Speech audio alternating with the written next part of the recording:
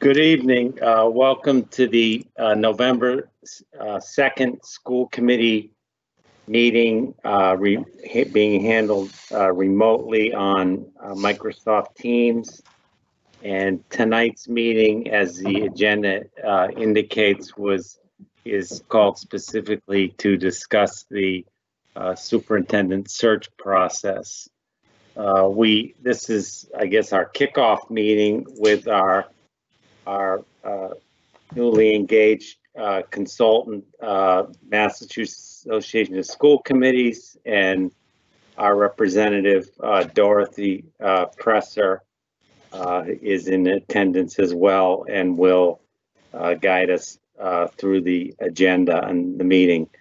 With the, on the, on the agenda specifically, actually, bef- I made a took, I took one night off and I already forgot. I gotta do a roll call vote. Uh, John? Here. Uh, Aaron, Here. Tom, Here. Sean, Here. Carla, Here. Chuck. Apologize for that. Uh, the, uh, agenda will run through is it, is the, first the timeline, uh, which we'll need to vote on. Uh, and then the, uh, online survey and the, uh, focus group composition and the, uh, screening committee, uh, composition. Uh, in terms of public input, input for tonight, we have the live chat. Residents are welcome to, post, chat, chat or, uh, public comment for things not on the agenda. Uh, we won't, we won't address any of those tonight. Uh, we will address those on Thursday night, but, uh, again, residents are welcome to, we will acknowledge them and read them tonight, but we won't be uh, dialoguing until on those when we have the superintendent here and staff in case we need them in, in, in answering any questions that come up. Uh, Again, uh, this is our kickoff meeting uh, for the superintendent search. As I know, I know everybody here uh, knows how important this uh, role is of ours and, and, uh, you know, and we're very pleased to have, uh, you know, the guidance of the Massachusetts Association of School Committees and specifically Dorothy. So didn't know if you uh, want to, we, we can, I guess, we do have a, a hard stop of somewhere around like 6:45-ish because Dorothy has a, another meeting at uh, 7 PM. So we'll try to, to accommodate that. So I don't know, if we want to just jump right into the timeline. Unless anybody has any questions. Okay, Okay. Well, let's jump in then. Um, I'm nice to meet those of you I haven't met before, and I'm very happy to be here tonight. Uh, so if you look at the timeline, which I know was in your packet, um, the, uh, I guess the search executive committee, Tom and Chuck and I met last week and really went through the timeline pretty carefully, making sure that we were avoiding dates that were problematic to, for other Reading meetings. Um, and uh, added some more detail to what the original draft timeline had been. So I, Gail, really, I that- guess, I'm I'd like to- sorry. Dor, is that something we can share on the screen or, or not? Tom, do you, you have it there? I have it here if you want me to, yeah. You- Would that be good, Dorothy, to have it up yeah, there? that'd be great. That'd be great. Okay, Thank you. Thanks, Tom. no problem. There you go. Everybody see it? Yes. Okay. Dorothy, back to you. Okay, so I guess uh, my, I would ask if anyone has any questions or sees any concerns with the timeline.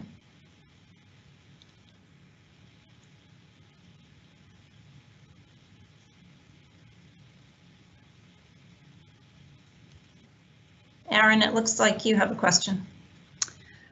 Oh, I didn't see Um, that. I'm just curious, when you um, conduct all of the focus groups, are we expected to be at those? Are we welcome to be at those? Or generally, do the school committee members not participate in all of Yeah. those? So generally, um, we, uh, feel like we would like community members and staff and parents to be able to speak their piece openly. Um, and sometimes that means that it's better actually if you let the, your consultant, let me, um, con, conduct the focus groups without school committee presence. You're, there are open meetings, you're welcome to attend, but so there's a, a little bit of a balance to be held there. I would say particularly for the ones that are staff, administration, um, that, that would be better if school committee were not present for those. It would be more the community parent ones, um, where if you wanted to, um, to be there, that would be more appropriate. Thank you. Uh, Carla?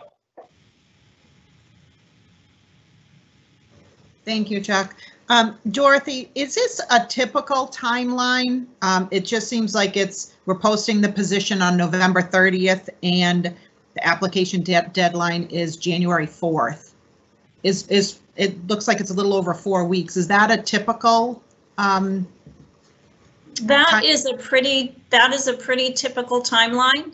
Um, what we have found, uh, in the past couple years, um, particularly, is that it doesn't really matter what your timeline is, whether it's, you know, four weeks or six weeks or eight weeks. The vast majority of the applications are gonna come in the last few days. So, you know, we've gotten as many applications when we have a three or a four week um, application period as we do if we have a six week application period. Okay. It, it, to me, it seems a little short just because, um, you know, we're, we're going to be on this early. Um, it just seems like that could be a little longer, but, um, if that's something that's typically done, I'm, I'm okay with that. Well, and that's certainly your prerogative if Yeah. uh, the committee feels that it wants to extend it a little longer.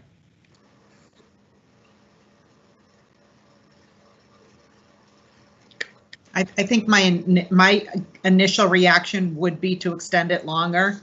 Um, I don't, I don't know how anybody else feels about it. Because it looks like by February 11th, we will be appointing a new superintendent. Um, so it seems like we do have time. I, I would, I would almost, would rather extend it even by two weeks to, to a six-week time period. Okay, well, we can hold that for a minute, and uh, I know Sean had a uh, question. Yeah, it was in the same vein as Carla. I'm not, I'm not so concerned about the amount of time that it's open, um, but recognizing Dorothy, your comment that the, the applications often come in in those last few days. Um, I wonder if, I wonder if we might think about at a minimum, uh, having the deadline be later in that week so that it's not sort of just coming out of what people will view as the holiday, you know, as the holiday period. Um, uh, you know, I'm, I'm certainly open to what Carla was suggesting around a longer timeline generally, but you know, at a minimum, not that sort of first day back out of the holidays is probably something we want to avoid. Okay, John? Yeah, I'm, I'm fine with pushing it that week. I wouldn't extend it to the six-week time frame, knowing the number of positions that are currently open in the state alone. Um, it, it, the resumes we're gonna get are what we're gonna get, whether it's four or six weeks. Um, I'd worry more of keeping it open. We're not gonna see any value to it.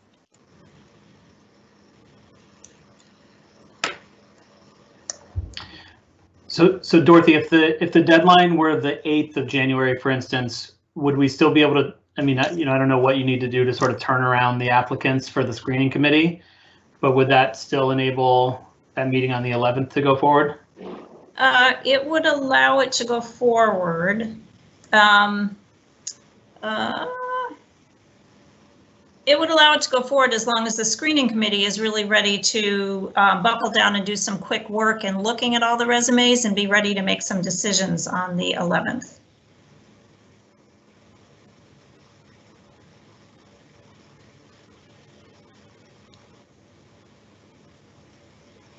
Does anyone uh, else have any thoughts on the extending the resume here, Tom? So, um, you know, looking at it and hearing the feedback, I would be amenable to extending a little bit. I do want to be cautious of quite a very busy January month. Um, and a lot of the, the other meetings that people are going to be involved in in January. Um, that's part of the reason why we were a little forward in that in that time frame was even though it looks like there's time in between January 5th and January 19th, when you think about all the other stuff that's going on, there really isn't a lot of time in there. Um, and we try to be very careful about the time time frame there.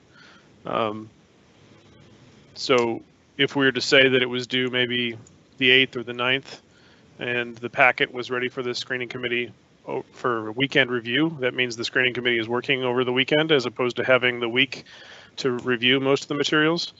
Um, if we then said maybe we could flex the 11th to the 12th or the 13th to give them a little bit of time. Um, but we can't go to the 14th because we have a budget meeting on the 14th. So we start hitting up and against all the other meetings that uh, we as a group have, and there will there will be. We're going to cover this shortly. There'll be two of us on that screening committee as well. So we have to be careful of that. Um, so while it looks like there's time, when you think about all the interview slots that are available, when you look at look at the rest of the schedule, there really is not a lot of time built in there for for fluff or extra time necessarily. Um, So if I caution a little bit there. sorry, Tom. No, If go I ahead, could just Dorothy. jump in, you could push that, you could push that Tuesday 19th, perhaps a day or two. Um, Once the fine, once the committee decides who the semifinalists are, um, then I would need to contact them to set up interviews. Also want a little bit of turnaround time for them to get ready for the interview. Um, And then if you start to push things out too much, um, February 11th is before February vacation. And you don't really want to split things too much necessarily to um, between before and after February vacation for some of that work. Um, so it, um, that's going to push you more towards the end of February, early March before you get to a decision, which isn't awful by any means, but just so you're aware that, you know, starting to push things out with vacations in there um, might have more of an impact than it appears uh, to begin with.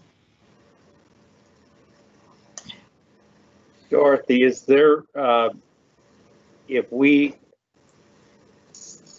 say agree to this, uh, four-week timeline tonight, and once we're in it, is there, is, can we change it midstream or, or decide, uh, at the end of that four weeks that we wanted to extend it longer? Or, I mean, we've done that in other types of searches, I know, but I don't know whether we can do it in this one. This- Uh, you could, you could, and we would get word out that the uh, deadline was extended. Okay. Aaron?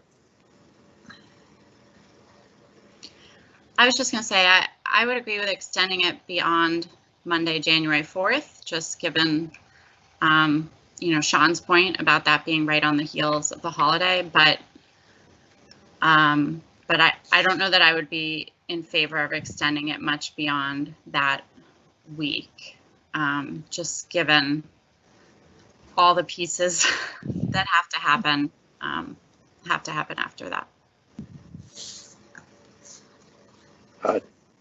Thank you. Tom? Just an additional point about any extensions after we publish this is um, when we talk to the, when we ask for applicants for the screening committee, we're asking them to commit to the dates for the screening committee interviews as well. So we cannot necessarily adjust those really too much afterwards and keep and promise to keep the screening screening committee impact intact. So we want to be careful about any late adjustments. Um, so I would position that if we're going to make adjustments, we make them today. Um, at the latest, if we need to make another late adjustment, we make them before we market this stuff. Um, which puts us to like November 23rd, November 20, November 30th, right? But we, but when we put it out there, we put it out there, and those are the dates that we stick to, and we're good, and go forward with that. And whoever comes in, comes in um, at that point. So, you know, looking at it and thinking about Dorothy's feedback as well with regards to making sure the applicants have enough time to prepare. From my perspective, the latest I'd be willing to go is say that it closes on the 7th, which is a Thursday, and then we have that committee uh, selection meeting on the 12th, which is a Tuesday. Um, there's nothing for us to do as a committee for that 7th, that those applicants go to Dorothy, and she would have then Friday to prepare the packet for the screening committee meeting to review, screening committee com- members to review over the weekend and into Monday, going into Tuesday where they have to select the semifinalists that they would then start interviewing on the 19th. That gives about a week of notification for those semifinalists to prepare themselves, pick one of the interview slots appropriately, and get themselves ready um, for that, for those slots, which I think is respectful of their time and Sean's point. It's a very valid point around the holidays also respectful of the committees, the screening committee's time, um, and the candidates. So that would be my proposal. I'd be willing to make that amendment if, if, uh, if others would, would agree.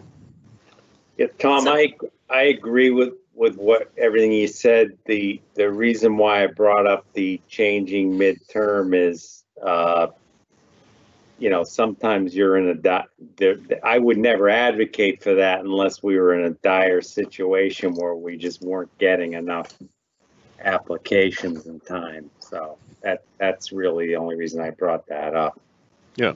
Uh, So one other thing that might uh, give you a bit of comfort is this is already up on our website as an upcoming search. And I can pretty much guarantee that there are people that already are watching for um, the material, you know, when the application, um, when the application will be available and when the application deadline is. Okay. Thank you. Uh, Sean? Um, two things. One is, um, if we're gonna vote this, do we need, do we need a motion before we should start talking about specific?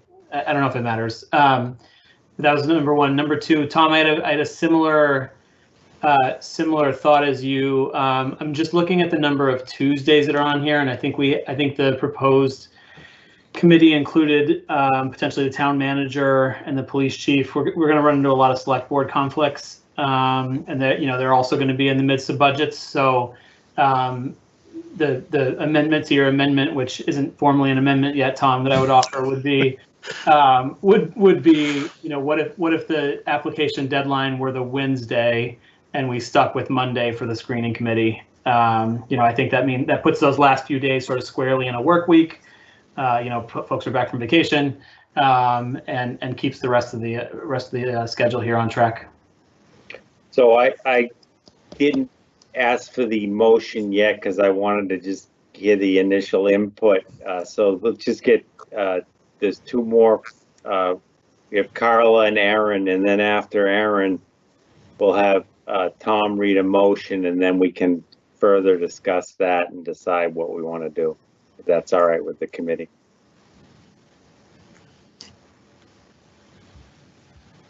Carla? right?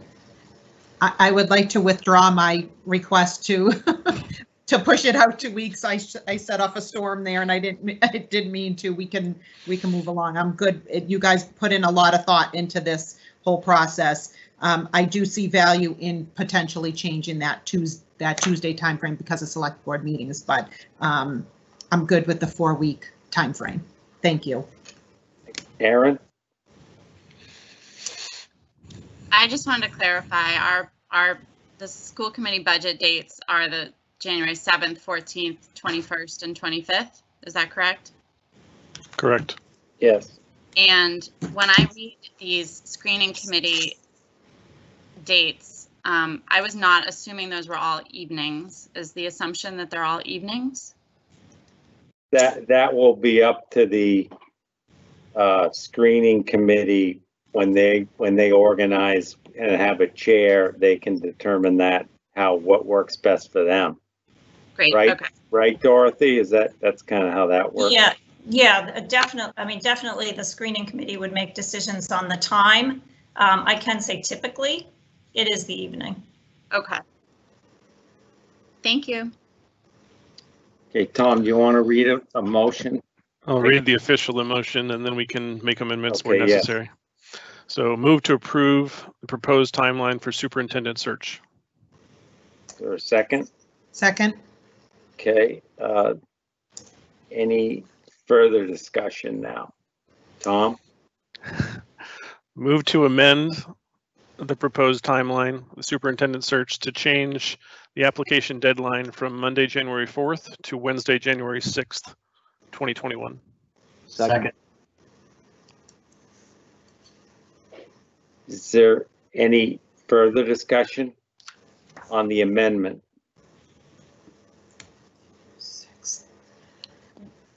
Would we then need to change the screening committee orientation or not necessarily? No, that can happen before the application deadline. That's not a problem. Okay.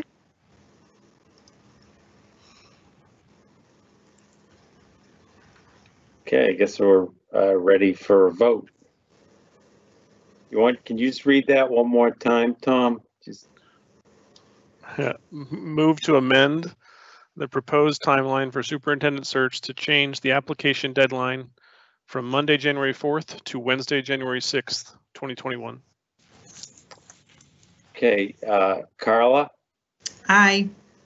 Aaron, Aye. Sean, Aye. John, Aye, Tom, Aye. Chuck, Aye. Okay, Okay.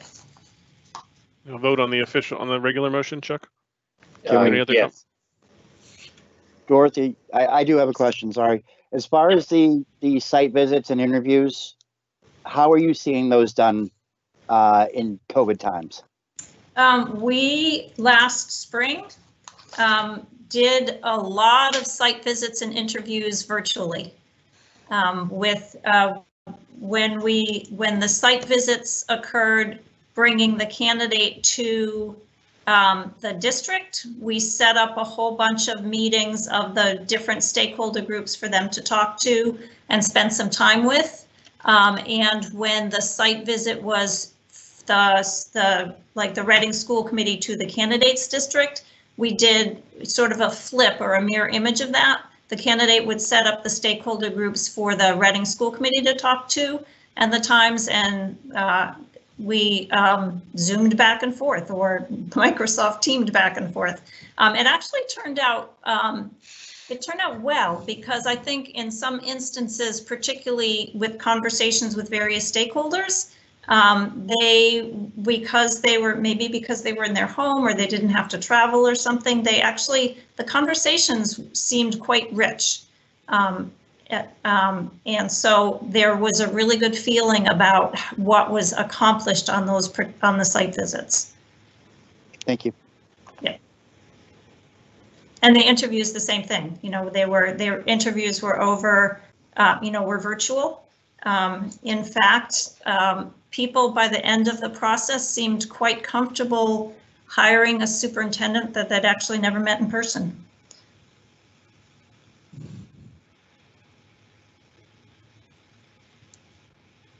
Any other discussion? Okay, ready for the vote? Uh, John, Aye. Tom, Aye. Sean, Aye. Carla, Aye. Aaron, Aye. Chuck, Aye. Okay, thank you. Okay. Okay, now we'll, uh, put the online survey up now? Sure. There's two copies or two versions, I suppose. Um, So we can go through those, but that's up right now if you can see it. Yes,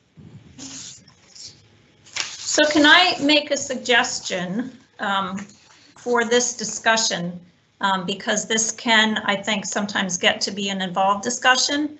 Um, I wonder if it makes sense for me to hear the feedback in the discussion and then draft uh, a, a, survey, uh, a completed survey based on this discussion that would um, go to um, Chuck and Tom for their approval to move forward with it when we start the focus groups and survey. I, am fine with that. If, if if everyone else is. The idea being to synthesize the feedback you've heard tonight, Dorothy, into a final, final draft survey essentially, Yes, right? yes, Feedback exactly. being what type of, how do we want to qualitatively grab it? How do we want to quantitatively grab the feedback, etc. Um, and in what format, whether it's, you know, an online tool, whether it's written or, or whatever else the case may be. Well, it will, um, it, um, generally, it's an online tool that generally, you know, the focus groups are in person. The survey is a Survey Monkey Okay. um, document, but with two choices, um, it's more a matter of, you know, have we, in looking at the categories that you want, have we captured all the different categories that you want people to identify themselves? And then, you know, so because the two surveys have a little bit of a different flavor in terms of picking from a list or um, ranking criteria, sort of which direction do you want to go there, or is there a mix that you see that you'd like? Does that make sense? Yep. Okay, so I didn't, I don't think any, I didn't see any objections to that suggestion, so why don't we do that? So you wanna kind of walk through each, Yeah, I mean, there's, there's some areas where there, there's similarity um, between the two surveys, and generally, um, when I put together two survey, or surveys, I think about two aspects of it. One is sort of setting the table with what are the strengths and the challenges that you see in your district. Um, and that sets the table a little bit for then what kind of a leader would be successful there. Um, and that gets into, you know, what's the leader's background, what's the leader's skill uh, set that would be helpful and so forth. okay?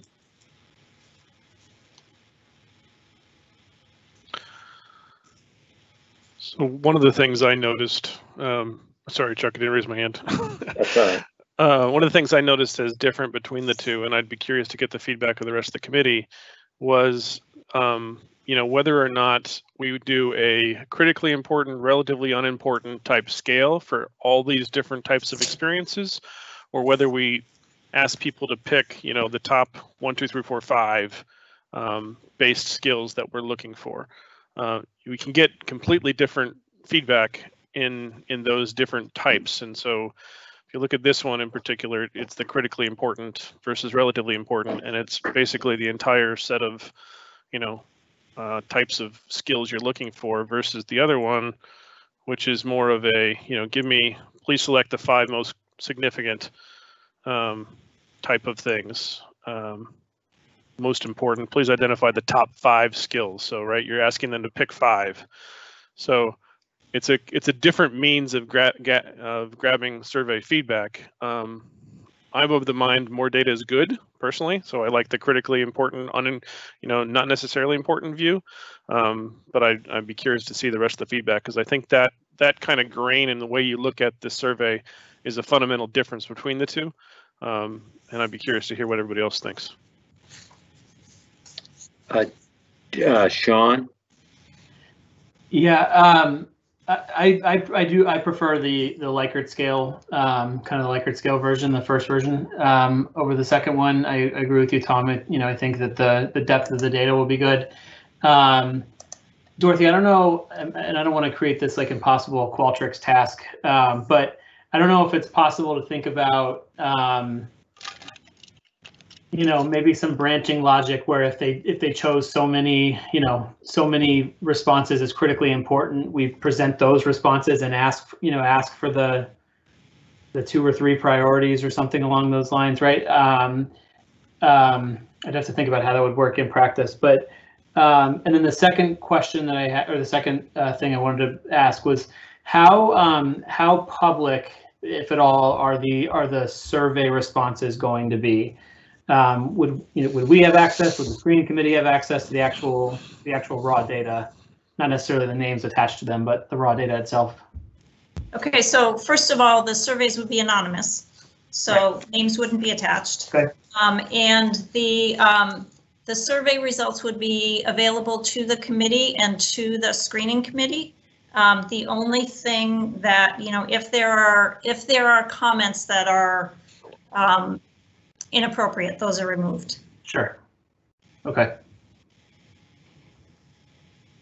Uh, John, Uh, I'm going to agree with Tom on this, actually, with the first one. Um, I, I think this is going to give us a, a, a ranking of what is important in the community and in the parents. Um, and we'll be able to see that in the data that it's collecting.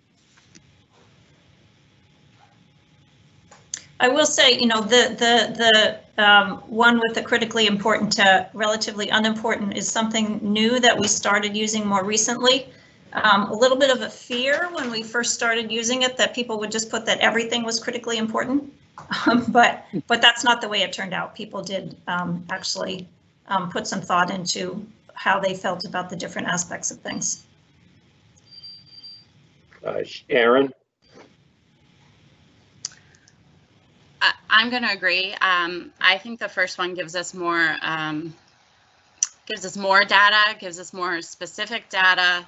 Um, you know, I, I can recall filling out surveys for other things when it says, you know, you can only pick this number and I want to pick more than that number. Um, not necessarily everything, but so I would I would hate to set something up where we exclude the ability to get information.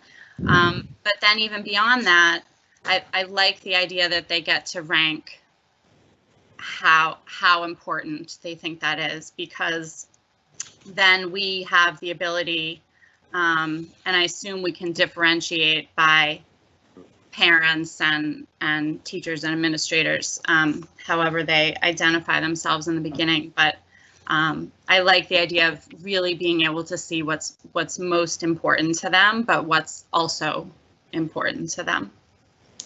Um, yes, you would be able to differentiate by um, how they describe themselves in the first question.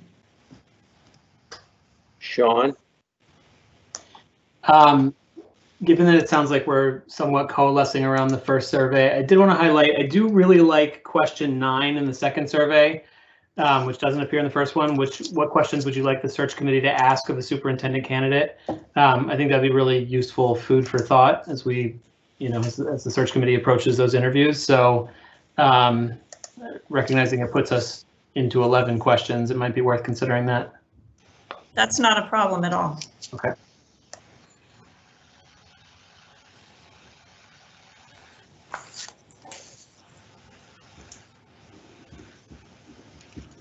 Anyone else? Tom, just to build agreement, I would agree with Sean's point on that one as well. Um, it is good to see what other what other people may think, even if they don't make the search committee or they can't commit the time. You know, the the, the big type of questions that would be important for the for the community to understand and the committee to consider.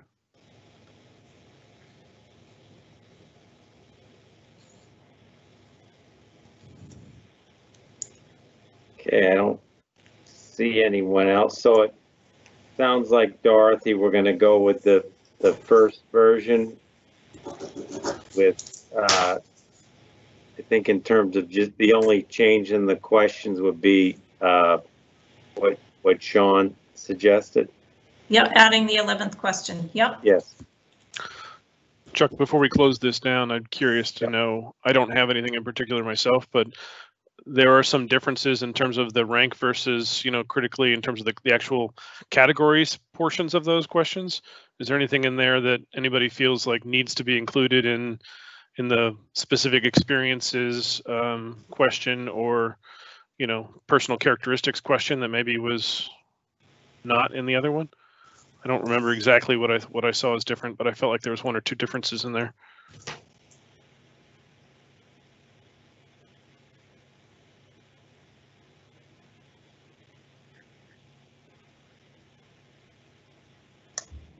Sean, Um, not, uh, short answer to your question, Tom, for me is no. Uh, But one thing that I was thinking about from a, like strictly a content perspective, um, Dorothy, I don't know how committed you are to the, the sequencing of the, um, of the choices here, but like on question seven, for instance, where it asks about specific experience and skill areas that could be important. Um, it doesn't quite hit me right that that the last four are sort of all about um, you know uh, sort of experience with or affinity for or whatever you know whatever phrase you want to use for sort of underrepresented marginalized groups. Like i'd maybe like those to appear in a different order or mix it up or ran, you know randomize it or whatever that could look like. Um, it just hit me a little bit funny to see those at the bottom. Yes, I could absolutely change the order and make it a little more random. thank you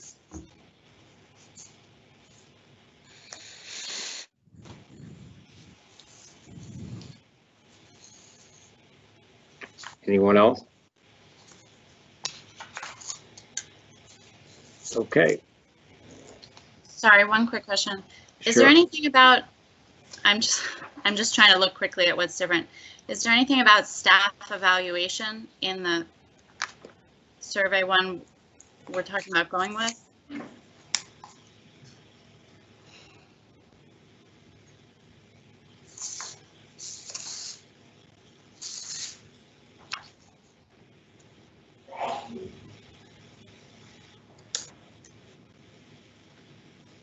If not, Nope. can we, can we add that? Yep, I, looking quickly, I don't see it. Would you add it to, human resource management. Um.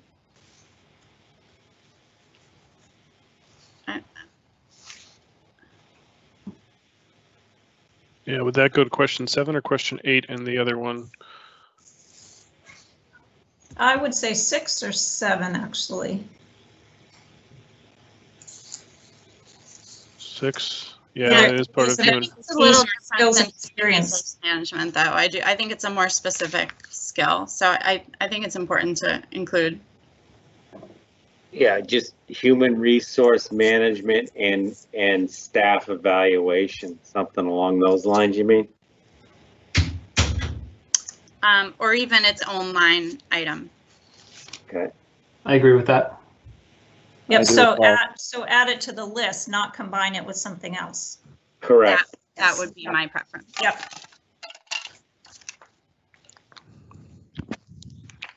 Okay. And Aaron, you were specific, you're specifically six is the question you would add that to, correct? I think so. I Yep. if it's there.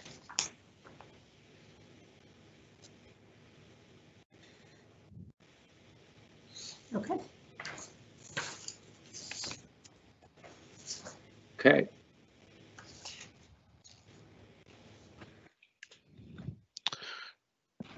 We do have a Q and A, um, Chuck. Um, okay, actually, one, there's two. One was from earlier, um, which we did sort of address. I just wanted to publish it so everybody's there from J- Dar- Jeffrey Quorum.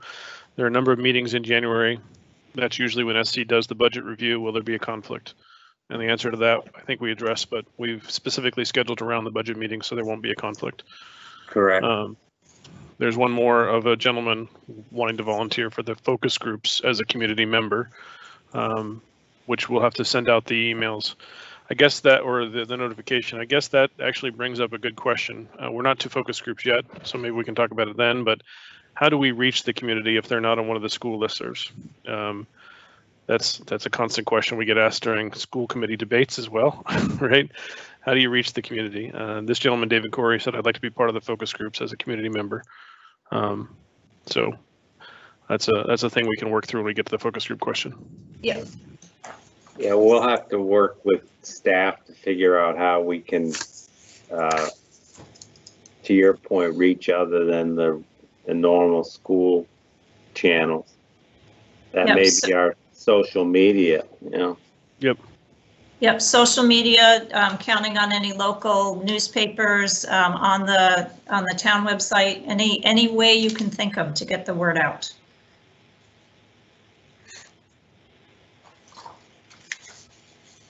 thanks, Tom. Okay, you want to move on to, uh, focus group composition? So just to, just to clarify, um, I will make the changes that the committee talked about. get them to Tom and Chuck for their approval, and then we'll be good to go? Yes. Okay. All right. So, uh, I'll, I can start this, uh, or actually, did you, I mean, it's there, we know what it's, so, uh, I, I thought about this a little more after we talked about this last week and, uh, I, I, I, I think we should have a member of the Board of Selectmen appointed by the Board of Selectmen on there. Are we on the focus group or the screening committee, Chuck? Oh, I'm sorry, we're not on the screening committee. Sorry, focus group discussion. Go ahead. Go ahead, So- Dora. Um, so I had a chance to talk with Gail a little bit about the different focus groups that, that Chuck and Tom and I talked about. Um, and looking at what we could do for scheduling, what we talked about, um, was having for the staff, uh, because we want to make sure we give the staff multiple opportunities to participate, um, that we could have, um, two sessions on Friday, the 13th, one for the elementary at the end of their day and one for the high school at the end of their day, given that that was a partial day. Um, and then two other sessions that were at some point during the weekdays, one that was particularly um, aimed at the middle school and another one for the elementary school, given that you have a large number of elementary, you know, a large number of elementary school staff, given that you have five elementary schools. Um, and then, you know, generally what we say for the different staff focus groups is, you know, we're aiming them for a particular level, but you're welcome to join whichever one you have the time and capacity to join. Um, we thought for the administration that that could be coordinated with one of the DLT meetings, um, either before the scheduled meeting on Tuesday, after the scheduled meeting, um, whatever worked out best. Um, students, we thought it could be uh, about, because we assume that's mostly high school students that would participate, um, that that could be scheduled for 3:30 on a weekday afternoon, so they're a little bit after the end of their school day. Um, they can uh, take a break from the end of the school day and then jump into the um, focus groups. For the town staff, uh, Gail thought that probably the best way to do that was arrange um, with the town side on what the best time for that was. Um, and then for parents, um, when we looked at the different parent groups, um, we did bring out that, you know, if people are jumping onto a, um, a virtual meeting, we really won't know if they're actually middle school, elementary, high, CPAC or METCO parents, um, that we could have a mix of day and evening times, um, and anyone could come to any session. Um, and then uh, the open community forum, we would find an evening time um, for community members to jump on. And then once again, if a parent can't join any of the parent sessions but wants to jump onto the community one, they'd be able to do that. So just fleshing out a little bit more, um, not only what the groups are, but how many we might schedule for the different groups and when they would be. Thank you. John? Chuck, I'm gonna drop my hand for now. Okay, uh, Sean? Um, well, one question I had was addressed, um, by Dorothy, your comments about how you'd schedule the staff meetings. I just want to make sure that the RISE, uh, staff schedules are taken into account as well, the preschool. Um, and then, um, and then the second one around the administration, how do you navigate, or in, in your experience, how do you navigate, um, working in situations where, you know, you might have staff or administrators that apply, are planning to apply for the position? Um, generally, we would, um, count on their, um, count on them to know they were applying and excuse themselves from the focus group. Okay.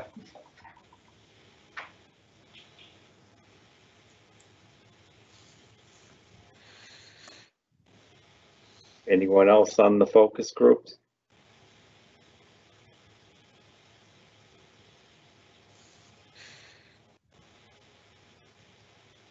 Okay.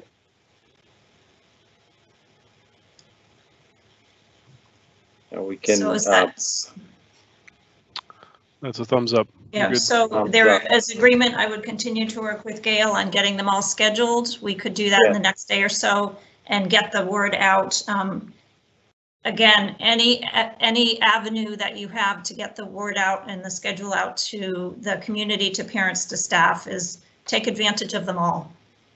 Chuck, can we reach out to Laura Gemme and see if she can send a blast out as well? Because she's got the town list. Yep. That might be more effective than, than just doing the school list in the newspaper. Yep, There's also the Town of Reading Facebook page um, that we, Laura doesn't administer, but we could, we could work through that path, I would We- assume. Gail, yes? Yes, I can also work with um, Jane Miller, who does a lot of the town communication that I was going to, once this was set, reach out and see what I could tap into from their side, because we work very closely on other communications. Thank you. Uh, John, to your question too, I can make a short announcement at town meeting, uh, where I believe a lot of Laura Gemme's list comes, you know, that, there's a lot of those people, so. Well, she's got the listserv, Chuck, that actually gives her access to anybody that's signed up for any type of announcements. Okay. So,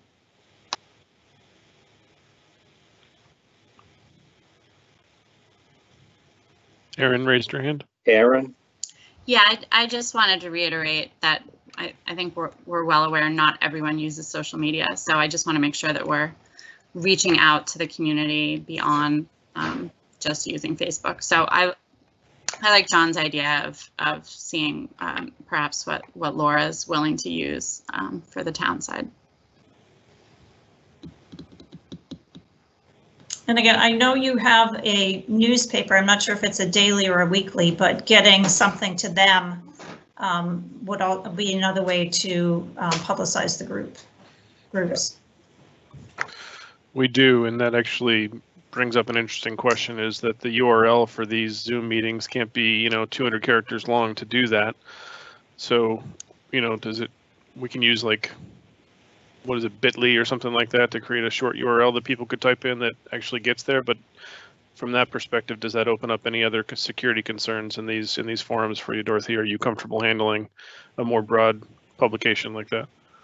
Uh, Comfortable doing that. Okay.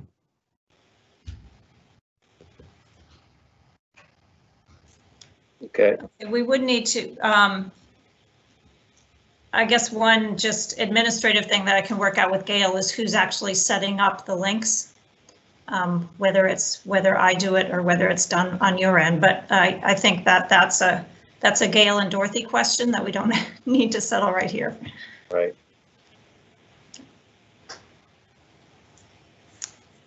Okay, Okay, so Chuck, now, now we're on the preliminary screening committee composition. Yeah, so as I started this, as I thought about it, I, and I just throw this out, uh, is maybe we should consider adding a member of the Board of Selectmen appointed by or selected by the Board of Selectmen on that. I had one other follow-up thought, um, which is it's very um, common, more common than not, to also have a building leader, a building principal on the preliminary screening committee. And we, when we talked uh, before, we did not have that um, position on the list. Okay, Dorothy, you just answered my question, so thank you. I think that's something that having a member of the DLT, um, building principal is, is key. Um, absolutely. so that would be in addition to the one administration member? Yes, the administration member would be uh, probably a central office administrator. Right, So I do, when you talk about having a member of the Board of Selectmen, would you also have the town manager or would you have the BOS instead of the town I, manager? I would say both. They bring different, uh, I mean, they come different, I mean, one's being an elected official works, working with the superintendent and then the town manager's, uh, you know, and obviously more of an employee to employee type relationship. Mm-hmm, mm-hmm. So if we add those two positions, that keeps the balance that we talked about. Um, it gets it up to 15 members and I wouldn't want to get any bigger than that. Right, I was just thinking about that. When we started this, we targeted 11 members as the ideal composition. So we've added four additional as part of the process.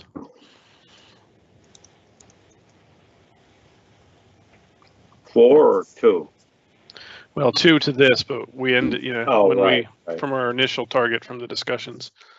Um, I guess the only other point of clarification I, I have in terms of um, my initial feedback was I had originally written one Metco slash uh, parent of color. It doesn't necessarily have to be Metco in, in, in my mind. Um, could be a Reading resident.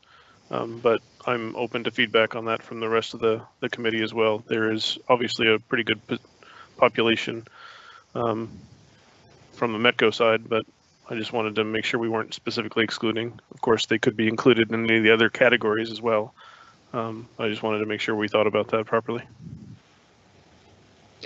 Aaron? Um, I'm wondering if it was a, a conscious decision to have five parents, because obviously the, the CPAC parent is probably either going to be Rise, elementary, middle, or high, and the Metco parent is going to be elementary, middle, or high. So you could have some overlap there, um, but we also don't have Rise represented there. We don't have our preschool age represented.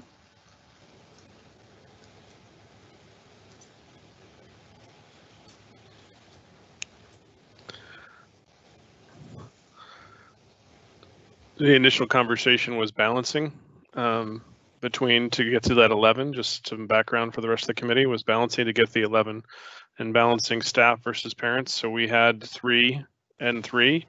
And then we thought a little further and we said CPAC and Metco. Um, obviously this, you know, as Sean pointed out as well in the focus groups, we, we missed Rise unfortunately in that conversation there too. Your point about Rise could be in a CPAC parent um, is certainly possible. Maybe we're maybe we're less restrictive in this, and this is just kind of a, a general category because you could have a parent who's both Rise and elementary or Rise and middle as well, and this is just kind of a more of a guideline of we want five parents and we want some combination of these categories of uh, of coverage to make sure we don't miss a level, and Rise is a missing level to that point. But maybe it's five with some categorization covering these these these these sub, sub subgroups i guess is a, a better way to put it We're also missing Rise and staff. so- staff yeah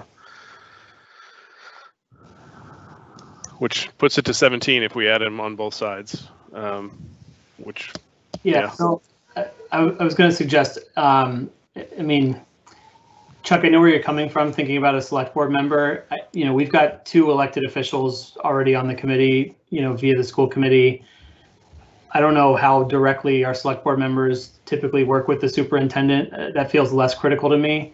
Um, You know, I would, I would prefer, um, I would prefer adding a RISE staff member um, and maybe losing the select board member, which would keep us at, at an odd number. Um, and I recognize we wouldn't have an explicit role for a RISE parent.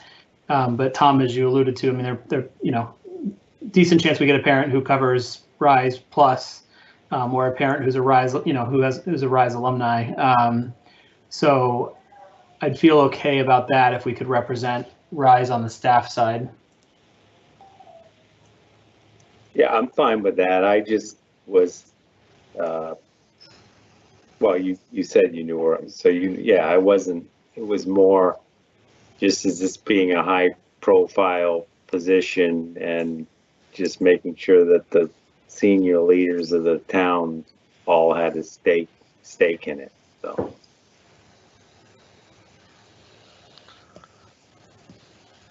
Could, Chuck, Yeah. let's go back to the focus group real quick. Could the select board member be added to the, the town staff uh, focus group and that way at least they're covered? I think our assumption was that that would, that even though we said staff, that it would fold in um, other town officials if they, if they wanted to participate. So, so in theory, we would have input from select board by, by including them in town staff under the focus group. Yeah, and I guess, you know, to be a little more specific, in town staff, what we're really thinking about is more department heads. Um, So, you know, uh, elected officials would fit well under that umbrella. I'd be comfortable with that. Yeah, I mean, I'm, I agree with, with, you know, Aaron's, uh, comment that we need to get rise, that, that, I missed that as well. Uh, so I'm, I'm happy to, you know, say, let's, let's keep it at the fifteen and, and, uh, take the select board out and put the rise in. We also can, I mean, it may happen this way. It doesn't have to happen this way, but you know, there are select board members that have, that are parents as well, so that they may slide into one of those slots as a parent, not as a select board member, potentially. Uh, that may, may address it potentially as well. We don't have to target that necessarily, but if it ends up that way, so be it, it ends up that way. Um, so to summarize then, where we, where we adjusted is we added um, one principal in addition to one central office administrator. We added one additional staff member, with that being Rise. Um, and we've kind of changed, we've said there's five parents, but they fit this mix of these categories in some way, shape or form, right? Right, elementary, preschool, middle school, high school, CPAC, and um, Metco slash parent of color. Um, is that a, essentially where we stand right now? Can we, can we say five parents, but have rise be a box that we're gonna check? Yeah, we, we, we'd add it in there, you mean, Yeah, like, like Yep. we're gonna give preference to an elementary parent that also has a child at rise versus an elementary parent that is strictly elementary. Like, we, we want to make sure in, in whomever the five parents are we choose, that they, that we check off elementary, middle, high school, CPAC, Metco, and rise in some way, shape, or form, because a lot of people are gonna check multiple boxes. As much Well, as possible. think- Well, and certainly a CPAC parent is going to have a student at one of those levels. so. Yep. As well as a METCO parent, so. Right. Sean? I was essentially going to say the same thing as Aaron. Who um who makes who makes the selections from among interested applicants? So we talked, we, we, uh, Chuck, Tom, and I talked about that. And Typically, um, there's a small group that makes the selection and recommends to the full committee the slate. So ultimately, the school committee approves the screening committee. But as the selection process to bring a recommended slate, um, it makes sense for your executive search committee to, to look at all the, the, in- the letters of interest and bring that slate to you for your approval. Sorry, Dorothy. I, I realized I phrased it poorly and it probably sounded like the newbiest question ever. What I actually was asking was, um, was who, like if we have 50 parent applicants, who chooses the five that participate in the selection committee? So ultimately, the school committee. Okay, Um, But to- as a step to get there, um, uh, the process I would propose is that you, again, um, take Tom and Chuck as your executive search, you know, your search executive committee to bring a a recommended slate to you, narrowing that 50 down to the five. Does that make sense? I just want to make sure we're still saying the same thing. I'm asking about how we, the people that participate on the screening committee, not the actual superintendent. Are we, are we talking about the same thing? Yes. So, so, so, I think so. okay, all right, so, okay, Yes. Yes, so ultimately, yes, the school committee also selects the screening committee. okay, thank you. Just- So, yeah, so Sean, we would come back to you with, with, or we, we would come back to the, or I would come back to the committee with a proposed, uh, screening committee to be voted on by the school committee. Okay, thank you.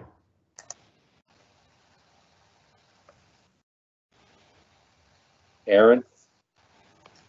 Is that a conversation that happens in executive session or is that a public conversation? That's a public conversation. Okay. And you would have other names if for some reason one of us had a concern about someone you were proposing or thought there was a mismatch or I, I can't fathom. I'm just,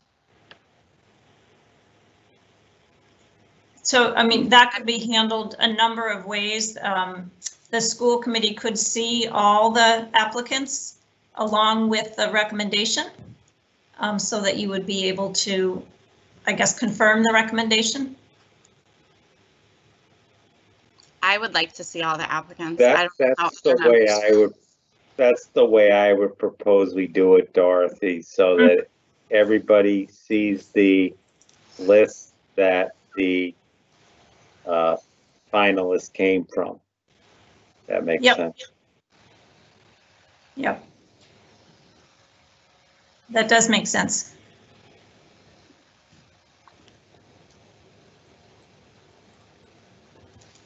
It's just sometimes an easier, uh, you know, sort of in the, in the sort of narrowing it down, a, a smaller group to knowing the will of the school committee to sort of narrow it down and bring a recommendation rather than Right. have full school committee just start the whole discussion. That could take multiple nights.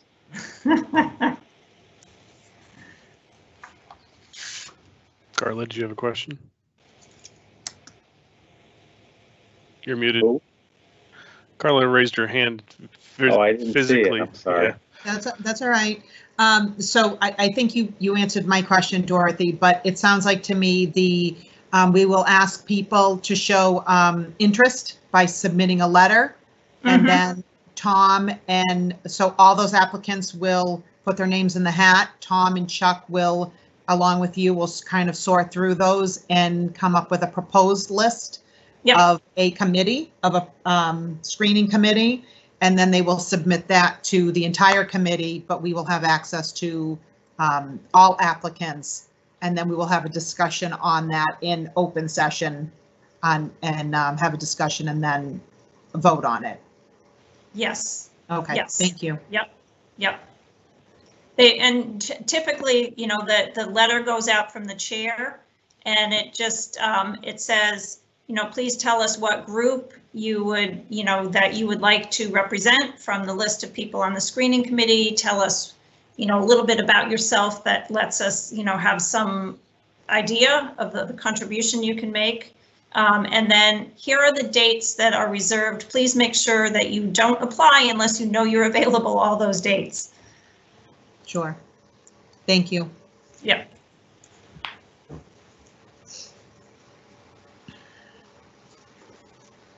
So the screening committee is, is uh, probably something that should have a motion and a vote to It, finalize. it does, it does.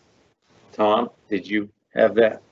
So I have the motion and then we'll make the amendments if we, as we've talked about as well, just following the same plan we just did. So um, move to approve the proposed screening committee composition and recruitment plan. Um, Where the recruitment plan, this, that, that's the end of the motion. The recruitment plan is the letter that, that um, Dorothy just talked about that Chuck will write. Um, So the motion again is move to approve the proposed screening committee composition and recruitment plan. Second. Okay. Any amendments? So the amendments, um, I'm gonna have to type this out so I don't get it wrong, but, um, move to amend the screening committee composition to add one building principal, one RISE staff member, and while keeping five parents, add the category of RISE parent to the parent list. Second. Any other a discussion on that? Okay, uh, hearing none. Uh, Aaron, Aye. Tom, Aye. Sean, Aye. John, Aye. Carla, Aye. Chuck, aye. Okay, uh, back to the main motion. Uh, is there any other discussion on that? Seeing none, uh, Tom, Aye. John, Aye. Aaron, Aye. Sean, Aye. Carla, Aye. Chuck, aye. Okay. That was it. Uh, do we have any other, I get a, We do have another Q and A, Yeah. it looks like. Um, looks like Sean has already addressed it as well. Um, and it was anonymous, so we can't publish it. what's that? It was anonymous, so we can't publish it per our policy. But we've addressed it as part of the conversation. Okay. I didn't see it. I don't, doesn't show up on mine for some reason. So the last um, item for tonight is really a discussion. There's no decisions to be made, but just sort of to get you thinking um, about where we go next. Um, We have, as I said, we have already um, started to let people know that this opening is going to happen. Um, And part of our recruitment strategy um, is to develop a brochure um, that will be disseminated, obviously electronically, um, for, uh, on our website, on um, the superintendent's website. It goes out to all our counterpart um, organizations in all 50 states. Um, in the past, when people were not as attuned to um, uh, looking, uh, not virtually is not the right word, looking on the internet for public, uh, for positions, um, we would print and mail brochures as well. Um, what we found in the past couple years is that people get as many applications and the same quality of applications without the cost of the printing and mailing. Um, and certainly without the cost of advertising in various publications like Education Week or the Boston Globe. Um, that's not where people who are looking for positions tend to look now.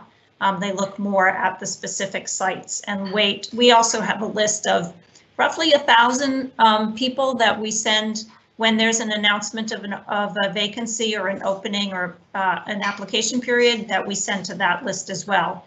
So um, we can, using um, technology, get the um, get the recruitment, get the word out about the position um, pretty expeditiously and pretty widely. Um, so I, I talked briefly again with Gail today about what we would need for the brochure. Um, some of the basic background about, you know, how many students in the district, what is, you know, what is your budget? What does your staffing, you know, look like? Um, and um, then we also collect up maybe some pictures of um, activity in the district and we um, put in a, like a community profile that tells people a little bit about Reading and the Reading Public Schools um, to attract them to the district. Um, and that happens whether whether you're printing it or whether it's only going to be um, online, that brochure is still developed to go out.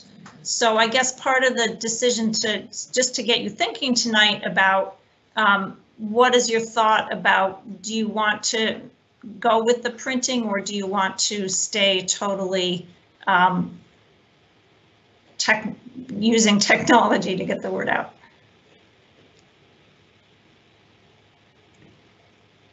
And it's, it's actually it's just something to think about. You don't need to, you know, we have time um, to, to keep, to um, key this all up. So it's not a decision to make tonight. The other part that I tell you about what's coming down the line is after we finish the focus groups and the online survey, we take that information and put it into a report for you.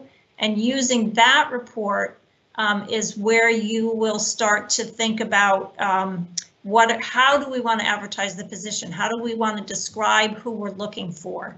And that becomes part of the advertising materials as well. Does that make sense to everybody? Any questions?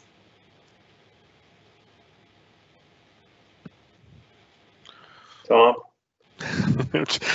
yeah. Um, so that makes sense uh, completely. And I guess my ne- my question is really kind of the follow on of that is that's the marketing of what we're looking for. That's the category of what we're looking for. Are we are we then going to suggest, or maybe this goes back to the screening committee, so I apologize for asking for it late, that there's a, a rubric of sorts that's built based upon that, that the screening committee uses um, as part of the interview process to, to check off that the cat, the categories that we're looking for are fit? Yes, we can, we can build that um, and, and for the screening committee to be, to consider as they're, as they're, A, A, as they're thinking about what questions do we ask the candidates? And B, how do we evaluate the responses that we get from the questions? Great, thank you. And just to add a little bit to that, so part of the charge of the screening committee is to take what the school committee has described and who they're looking for and find the match from what the school committee wants to the, the candidates that they're interviewing. It's not that the screening committee makes that decision. Their, their charge is to find the candidates that best describe what the school committee has identified as what the successful candidate would look like, if that makes sense. Yep. Dorothy, is there any, is there any benefit to not being all digital on this? Because, I mean, everything else is, the application's gonna be digital. Why would we want to have a printed brochure, I guess, uh, doesn't make a lot of sense. I mean, to I guess, I guess those who have come before you have decided there's not much value in it because they're all deciding not to do it. Um, The only, you know, we, there's, there's a couple avenues of recruitment um, that we have um, that, again, sort of lean towards the don't print. Um, The, the Superintendent's Association has um, an aspiring superintendent's program. So they're keeping in touch with people who are coming up the ranks and looking for that superintendent position. We, it's a program that we do somewhat together. It's led by them, uh, but we know who the people are. So, you know, we're making sure that we're keeping um, in touch with those potential leaders. I think in the past, sometimes that brochure would go to a district and they would, you know, maybe they, somebody would see it and pass it along to someone they knew might be interested in a position. Um, But again, um, what we're finding is people who are interested in positions either from a neighboring state um, or within Massachusetts know the places to look um, for the, for the postings of the positions.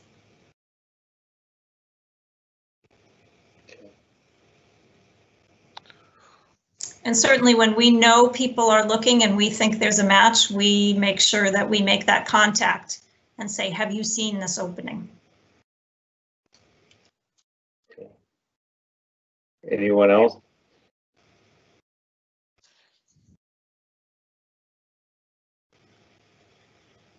Tom?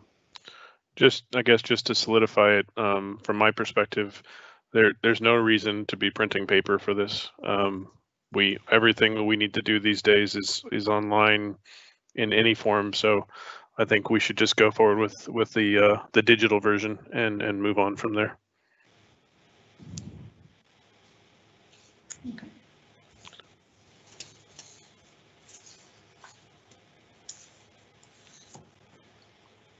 Well, that is, is what I have for tonight. And I believe that the next time I'll see all of you then is on Monday, the 23rd, when the focus groups will have been done. Um, The survey responses will be in and we'll be talking about um, approving selection criteria and the materials for advertising. Chuck, we do have two, two new comments in the Q and A um, that I'll uh, publish and then we can read them appropriately. They are with a name appropriately. So for Shirella Lestrade, two comments.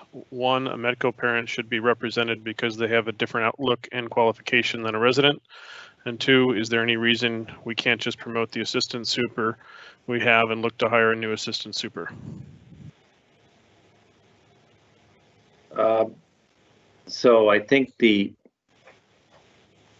to her, to Sheila's, uh, uh, first comment, we've already addressed that, where we're, we're gonna have, we would like to have a Metco parent represented.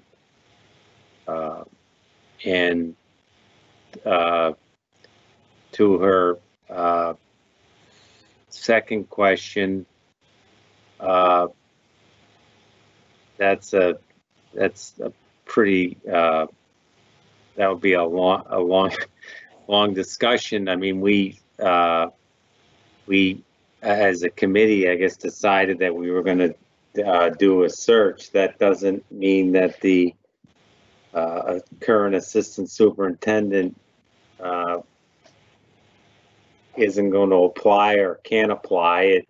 Uh, it, and, but, uh, we, we felt that, uh, you know, as a committee, we, we should, for the community, conduct a search. So that's, that's why we didn't just, uh, uh, immediately elevate the assistant superintendent to superintendent. If anyone else wants to add to that, that's, my head is right on that. So just to give you an- another couple things to think about, when you approve the screening committee, you'll also need to approve a charge to the screening committee, which would include how many finalists you want them to bring to you. Usually it's a range. Um, Usually it's three to five. Um, And then um, you would want to think about, you know, are there any other instructions you want to give the screening committee about um, automatically granting an interview to any um, internal applicants that apply or any residents that apply. Okay, that's good, good to know.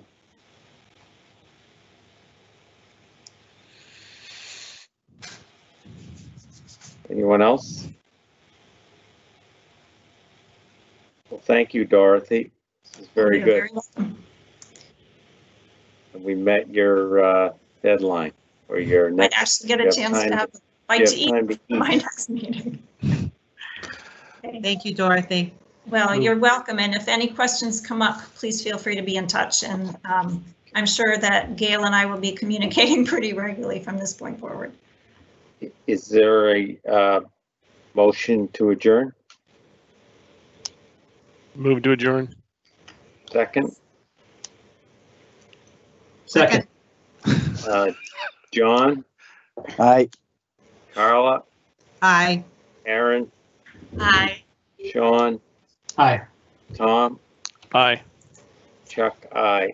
Thanks, everybody. Thanks, Thanks, Gail. Dorothy. Thanks, Thank Gail. Good night, everyone. Thanks. night. Thanks,